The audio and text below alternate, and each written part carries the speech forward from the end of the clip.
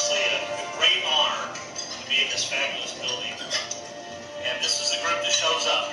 And this is why this organization is so fortunate and is so effective. The purpose.